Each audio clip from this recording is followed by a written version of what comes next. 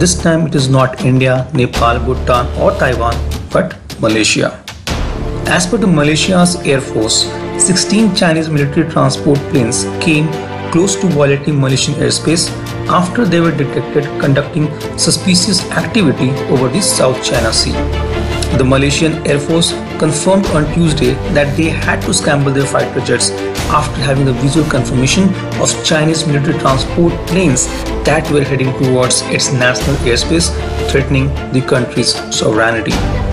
In a statement, the Malaysian Air Force said it identified 16 People's Liberation Army Air Force planes making suspicious flight in Malaysia's Maritime Zone airspace, the Kota Kinabalu Flight Information Region FIR and approaching Malaysia's national airspace on 31st May.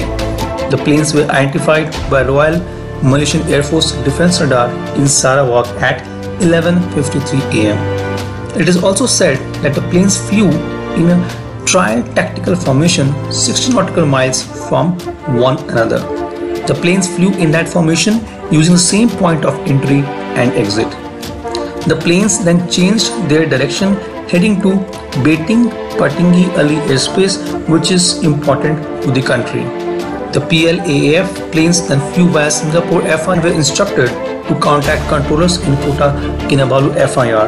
When these instructions were not heeded and PLAAF planes crossed Kota Kinabalu FIR and headed towards the national airspace, the Malaysia's Air Force scrambled intercepting jets at 1.33 pm to perform visual identification.